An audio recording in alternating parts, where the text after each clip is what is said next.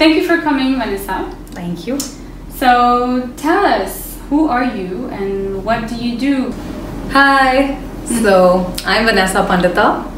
I am one of Chloe's best friends, and I come from India. I live in New Delhi, and I'm working as a marketer for a company called Alcobrew that deals with alcohol. We have a couple of our own whiskey brands, and yeah, I do the marketing for them, the brand campaigns, the advertisements, whatever brand communication goes out. So yeah, I deal with it. And along with that, I'm also a fashion designer. I just finished my degree last year, and it's been a year since I've been back in India.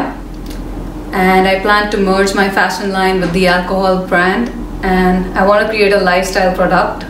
So, yeah, that's my goal. Awesome. So, so you, yes, you are a fashion designer, just graduated. Yes. And you did come back uh, from Italy, where you did your master's. Masters in fashion design, yeah. Yeah, from Florence. Yes. You came back to India and then you started working for uh, my father, yes. It's a your- family business. For your dad's yeah. um, business. yeah. That's really cool. And I saw you navigating the the you know the transition. Yes. Yeah. From living in Italy and, and doing your masters Yeah. to coming back home and starting to work and and all that and, and juggling both things. So you're you're working full time but you're also on the side launching your Fashion your line. fashion line. Yes. Um, so that's a lot. Well done. Thank you. So my my question to you, I have many questions, but one of them is, how do you combine living in India and expressing yourself um, in a fashionable way? I mean, as hard as it is to like express yourself considering how the society is, but I think that's the most important thing that you express yourself no matter who you are. So, my way of expression is fashion. So, it's like a lot of my days, my outfits are based on how I'm feeling. I don't care if I go to work. So, there are days when I'm just wearing my denim jacket and a loose shirt and slacks, and I'm like, yeah, today's my day off. but it's still very chic of course, because as I said, my output in life is directly proportional to the way I dress. Mm-hmm. Because it does make you feel empowered, it does make a difference how you carry yourself, how you feel. So clothes do that for me. So Mhm. yeah, there are days when I'm dressed up like a princess and I'm conquering all my emails, blazing through all the meetings. So yeah, that's there. Yeah, but Very hard. how like because I mean obviously I have been I have been to India. Yes. Um, how you can't wear everything you want Yes. in India Mhm. or like yeah it depends where you go Yes. so how how do you navigate that what what do you wear for what you know how, how do you where do you draw the line in terms of like okay no I can't wear that hmm So it's like obviously ultimately it's work, so I can't be all glam jam all the time. But then I do go for parties and outings, and there it's like where I let myself out loose completely. So my friends are literally like, so when sometimes when they see me straight out of work, they're like, okay, this is business Vanessa. And then when I'm out partying with them, they're like, okay, this is Vanessa version 2, glam Vanessa. then there's a part of me which is like completely pajama girl. And so sometimes when I'm at home just chilling, they're like, okay, this is lazy Vanessa. What's left now? Is there any other Vanessa? Dehati Vanessa? Banjara Vanessa? But yeah, it's just, it's a form of expression and yeah, that's how I kind of segregate. It's like, okay, today was not such a fashionable day at work. So yeah, maybe the next party I'll go more all out kind of thing. Okay. It's just like that. okay cool But yeah, I know it's very clothes centric. mm. Yeah. Um, one of the interesting questions, my question to you is how, you know, how does being a woman affect you in India? Because obviously a lot of things are said about, you know, the, the condition of women and how women are being treated in India. And obviously you live in a big city in New Mhm. Delhi, so it's probably different there. Um, but, you know, how, how how is your experience as a woman in India? Is it is it good? Is it bad? You know, are they advantages or disadvantages? Okay, so the experience is not bad. So for me, it's like I've seen both sides of the spectrum. So I've lived abroad and I've seen how people are open here, and you know, there's nothing wrong in dressing the way however you want to dress. And then I've seen India as well, where people are very shy and coy, even if they want to dress up well. But so honestly, there are days when I'm just like, oh shit, I shouldn't wear this. Oh shit, I don't, I shouldn't do this. But at the end of the day, I know I'm not doing anything wrong, and I just go out there and do whatever I want. And then what you said about women in rural areas who feel underconfident and who don't have such exposure, I'd still say that there are women in those areas as well who are doing what they want to do because they're not listening to the society. Like they're not, they don't feel pressurized by all this. So I think at the end of the day, it just matters like how much it matters, like how much you love yourself and how much you respect yourself to just put yourself out there. I don't think society makes a difference at that point. So that's for me as well. Yes, I'll have shitty days, but at the end of the day, I'm like, listen, are you happy being like this? No, you don't like it? Go do something about it. Doesn't matter what the people say. So Mm. yeah. What about safety? Safety. Okay, I won't say it's not a concern, but I do feel it's blown out of proportion a bit, and the media and the people are not doing much to help the situation as well.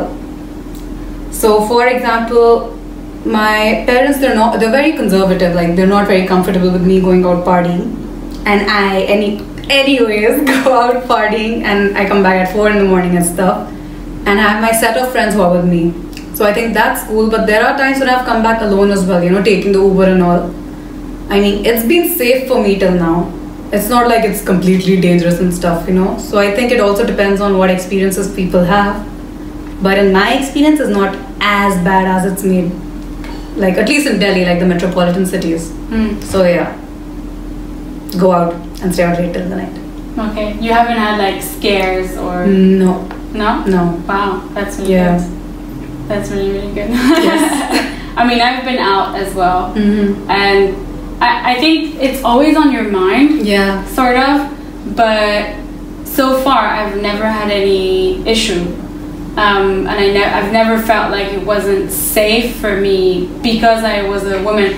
That the other thing as well is that you usually try to be a com- you know with someone people, yeah, and and people are very understanding of that and they Yes. they would they would do the extra they would go the extra Yes. mile to take you home or at least put you in a in a taxi Safe, yeah. you know or tell you to sleep at theirs you know because it's too late now so um, I think uh, there's a lot of uh, there is concern and and then you can feel it Yes. you know Yeah.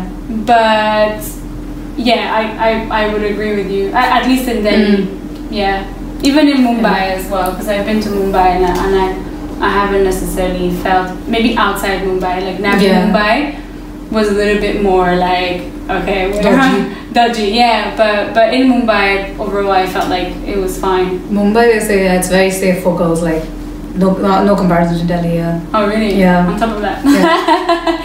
All right. Cool. How's it been for you? Um, you know, not being supported by by your parents and, and the things that you that you truly want to do. How do you overcome that? Because I I've seen many other Indian women who their family not liking what they do is is enough of a reason for them to stop right there and Mhm. not not pursue and not not continue you know to follow their dreams or whatever. It, it's not even that they're doing something wrong or bad or you know but they just want to pursue a particular career and their parents are not happy with that. And so just because of that they're just really gonna put that aside and just Mhm. not even consider Yeah. trying it. So how, how did you continue? How did you and how do you continue to overcome that? So, knowing the situation in India and addressing the women in India, I mean, I know it can be hard and women are from different backgrounds. But all I'd firstly say is just try, try, and keep on trying. Because it's like, for me, it's the dream, what I truly love that pushes me, that motivates me. It's like, I am afraid of doing things, but still, like, but I'd love to do that, so I keep on going and also at the same time yes, my parents were not very supportive, but at the same time, I know that they love me and I love them. And it wasn't like this stuff, you know, they supported me in the first go. It took a lot of time and effort and a lot of conflict, and A lot of conversation. a lot of conversations, but they did come around. And I'm also aware that this won't be the same for other women, but Yeah. all I'd say is just keep on going, keep on trying, and you will definitely find a way. It's just like, you know, if you put it out there in the universe, things will happen. Hmm. So yeah, just keep on trying and just go for what you want. Let nothing stop you. Hmm. Yeah, and that's what I do. It's like there's still a lot of things that I'd love to do, and my parents are not fully supportive of it. Probably not even aware of it. but yes, it's like low key. I'm still pursuing it. You know, it's like, of course, there will come a time when I'll have to have a conversation and stuff. But till then, just keep on doing you, man. Like no one's stopping us. We don't Mm. need anyone's permission, and so yeah. Nice. Thank you for that. Um, cool. So, what would you tell a young woman who's wanting to pursue her dreams but finds uh, finds herself struggling in the face of you know disapproval from her parents?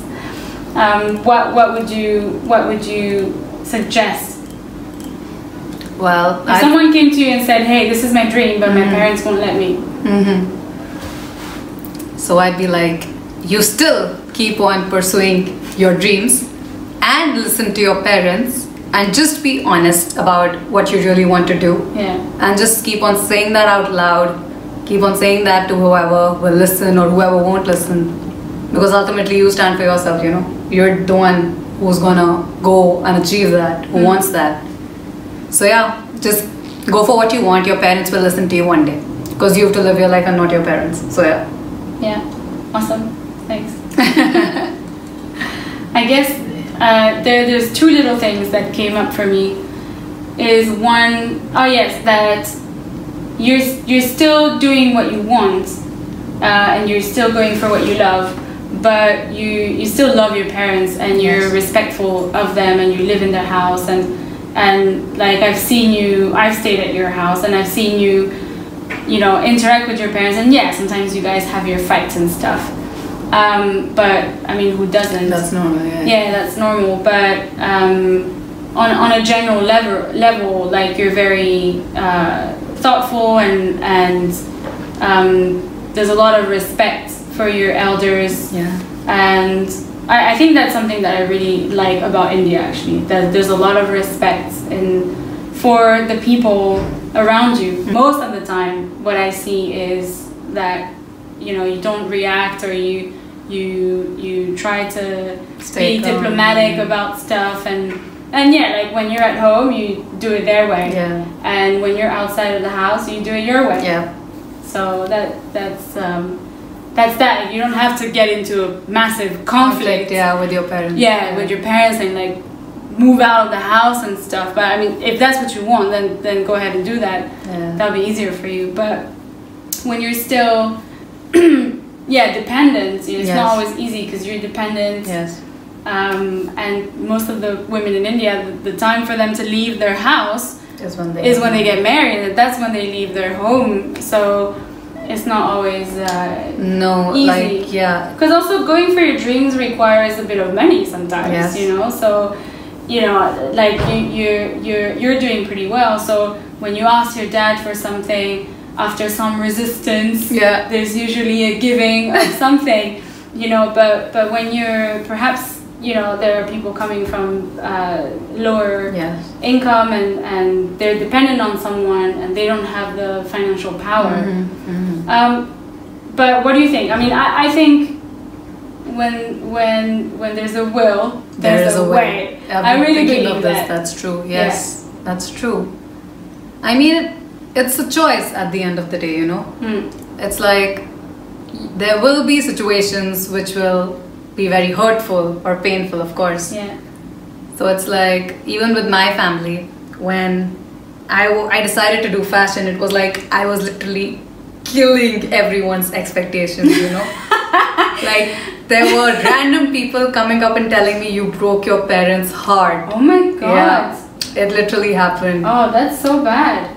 That's very hurtful Yeah. for someone to say. Yeah, literally, like my uh, father's colleagues at work, they were coming up to me and telling me that, and I'm just like a 21 year old standing there, like, okay. So much responsibility. Yes. Like you're in charge of your father's heart. Yes. All of a sudden. Yeah, but I think that's what people don't realize. I think in India, I mean, I know about India and Europe, but in India, there's a lot of pressure on the kids to fulfill their parents' dreams. Yeah, that's true. Yeah. So yeah, I feel like they never actually get the time to even think about what they actually really love to do, you know. Mm. So for me, I'm lucky enough and touch wood that my parents were open in that way. They send me abroad to study. Yeah, that's true. So for four years I studied. That's true. Yeah. Let's give them credit. Yes. I am grateful to them. yes, it's true. And so those four years are actually I actually got a lot of exposure and the time to think what truly makes me happy. And also I was always like a mature kid. So like since a very young age I wasn't like it wasn't money that was driving me or society. It was always like what made me happy. Mm. So towards the end, I remember of my final year at St. Andrews, it was like I just felt this longing and unfulfilled heart. Like I just felt bogged down because it was like I knew, like my dad had planned an MBA for me at LSE or something like that. But I was just like, uh, I've done economics, you know, and that's all. Like I don't feel like I'm learning something new. I'm not growing. Like what is it adding to me as a human being? Like, is it like I'll start a job at a bank and that's it? Like, Yeah. I'm sorry, I feel there's a lot more to me. Mm. Mm. Yeah. Mm. Yeah, man. And then I remember I was like, what what is there? What's obvious? Like, you know, what do I do in my free time? And I was sitting there, my laptop was open, and I turned around and I was like, like for the past three months I've been scrolling clothes for my pastime, like when I do nothing. Like literally I just go on the website and just be like, oh what's the new? Oh that's a cool dress. Mm-hmm. And I was never a fashion person. I was always a tomboy. You've known me, you've seen me. yeah. Yeah, and then I remember the next week, I was like, okay, so fashion, clothes. The next week, I really experimented with my clothes. And every day, someone or the other gave me a compliment. Wow, you dressed really well. Mm-hmm. Wow, this is really cool. And I was just like, something is not okay. Like, is this just me imagining things or is this like a sign? So I'm really a big believer of like universe and signs. And I was like, whoa. Okay, so I was like, okay, fashion.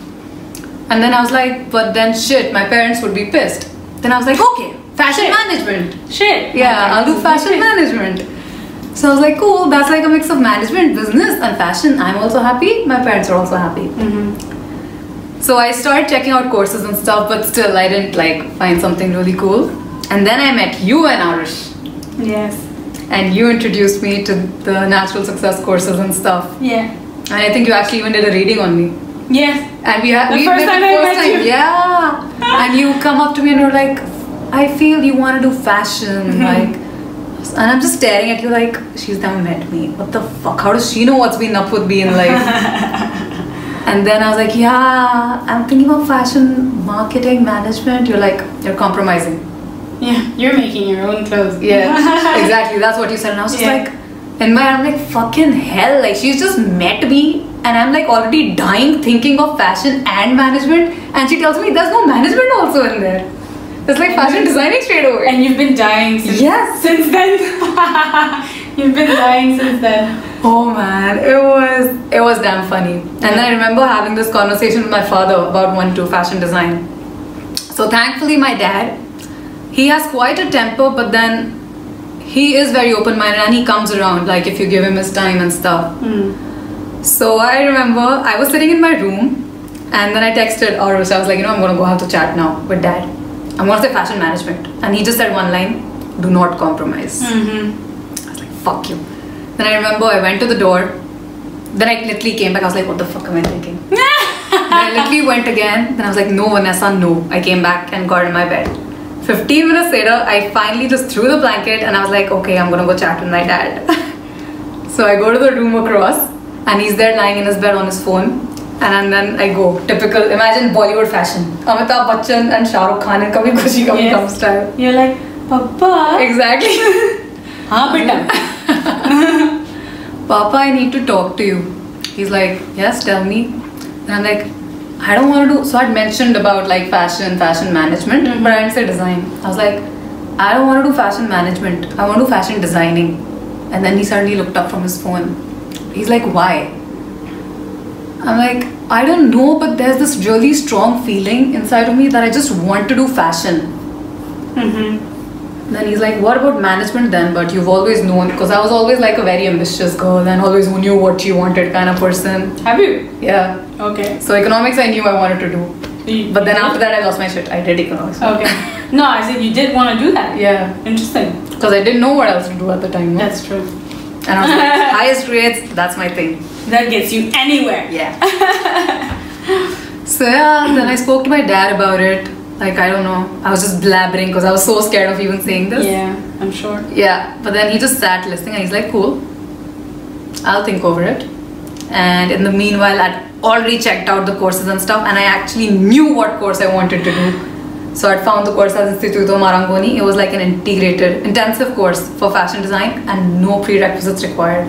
Because generally for fashion, you need like a portfolio, you Mhm. need to have like a year or three months experience, you need to know how to draw, you need to know how to be able to like sew and stuff. And I was like, fuck this, I need, I didn't know shit. Yeah, yeah. So it's like, cool, I found a course. Then I told my dad about it. Of course, they were just like, you know, what the fuck you're doing. Mm-hmm. But they still came around. I'm cutting out a lot of nasty comments and Words. Things were said. yes. But so yeah, they funded me obviously because I was like, fuck, I don't have the money for this, which I'm very thankful to them for. And yeah, then I went to Florence in Italy. Best two years of my life. Mm. But I would like to mention this for my first day at school. So my dad came and dropped me, and my first class was pattern making. So you know the Tailor Master T in India one. And I go there and I enter. So my dad dropped me off, and I'm just like, what the fuck is this? Mm-hmm. So we weren't like a lot of students. We were like seven, eight of us. We had small batches, and I'm just standing there. It was a two-hour class, and like people are like doing their own thing because all of them had some background in fashion in a way or not did work, and I was just like fresh off the boat. So I was standing there like pattern making. Hmm. What exactly is this? yeah. And then one of them explained. I didn't know I had to know how to make Yeah, like fuck fashion design. I thought sort of like sketch and imagine things, and that's I'm with that. Imagine things. That's my thing.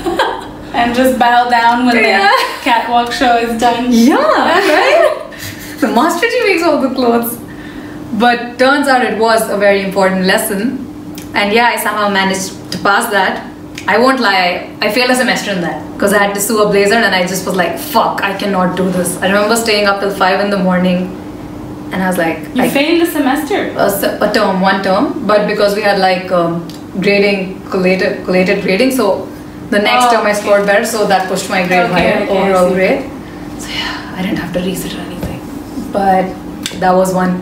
Mm. But it was an important lesson, and it is important for fashion designers to know the technicalities. Mm, Yeah, yeah, of course. Yeah. Yeah, Cool. Thanks for that. No historical walk. uh, walk. Yeah, yeah, yeah. Cool. Last question. Yes. What is a cool girl, and how to become one? What it, What does it take to be one? To be a cool girl? A cool girl is the one who goes for what she wants, no matter what. And what does it take to be one? Just know that you are one. Because everyone's a cool girl. Everyone knows, or maybe doesn't know what they want, but whether or not you're going after your dreams or not, just know that you're a cool girl. Yeah? But yes, still go for what you want. and don't listen to anyone. Before Yeah. you and don't listen to anyone. Yeah, man. And just believe in yourself. That is the most important thing. Yeah. Have faith in yourself and know that you're going to do it and you will do it. Cool. Yeah. Thank you. Yeah, we had a we had a chat about courage Yes. and like going going for the going for what you love really requires a lot of courage. Yes. Um, and um, I think even if you're like I had this thing before where I, I thought a cool girl is someone who's living their purpose. But it's actually not everyone knows their purpose. Yes. But you're a cool girl if you're I came to I came down to this. You're a cool girl if you are committed to living your best life Yes. and you're actively pursuing that. So yes. You know you you don't perhaps you're not there yet where you know your purpose but you're actively seeking and exploring and um, doing the things that you want to do For cool girls, I think the most important thing is you should allow yourself the permission to be cool. Like go after what you want because the only person, as it is rightly said, stopping yourself from living your best life is you, the person, like you yourself. So yeah, well good luck with everything vanessa thank you so much. and thank you so much for uh, agreeing to doing this interview i mean I, I, I could argue, oh, you're my best friend, you're my client, this is why you're on the interview. But, you know, I, and I asked myself the question, like, why do I want to interview Vanessa? And it's because I really have seen you grow. Um, like, when, when did we start this? Like three and a half years Yeah, ago, something yeah, like that? Yeah. And, I, I've really seen you grow from like this little scared girl. You were scared of everything. Yeah. You were so scared of everything. You were scared of what the waiter would think about you. You were scared of your dad. You were scared of the world. You were scared scared of your own friends. Like just Yep. scared of what people would think of you. Like just so, you know, Yeah. reserved and, and all that. And and you just really, uh, you started expressing yourself more and more in the world. And and you you found uh, your joy. You know what makes you happy. Fashion. You went for it. You Yeah. really you know, I, I've seen your journey and your growth, and you're and you're still very young. You're 25, so you started when you were 22, uh, which which is a huge advance, Yeah. a huge advantage, Yeah. you know, compared to to, to others Yes. uh, who get into a career, work for 10, 15 years, and then realize that they're not yes. satisfied and they're too deep in Yeah. you know, and they're so attached to their comfort zone, etc. That it's very hard for them to get out. Like, in you know, because you're starting early, you have so much more momentum Yes.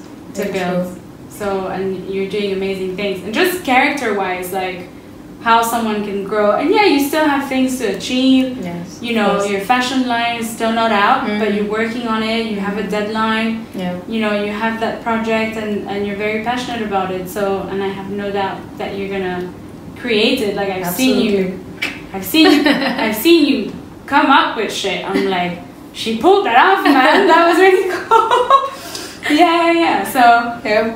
yeah it's really it's really it's really cool i think you're you're one of the few ones that are all in Yeah, man. you know and and yes you've got your challenges and yes you've got obstacles and your circumstances are not perfect and stuff and and you, you feel very isolated all the way in india Yeah. you know like without uh, without me without me but without you know without access to uh, Yes. to such level of freedom and, Yeah. and, and things like that so and independence so but you still managed to to do your own thing and you, you, you never gave up No way. so that's very admirable you Thank know you. like one of my values is courage so Yes.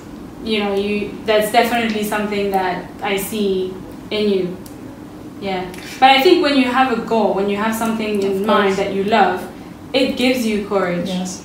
you know just like people would do anything to feed their child uh, feed their children Yes. they just go out and they just do it No matter what. because yeah. they have this kid and they love their kid and they're gonna make it happen Yeah. so you gotta find that thing that makes you feel like it's gotta happen like there Yes. is no other way there is no other option for you Yes. so yeah thank you Thank you.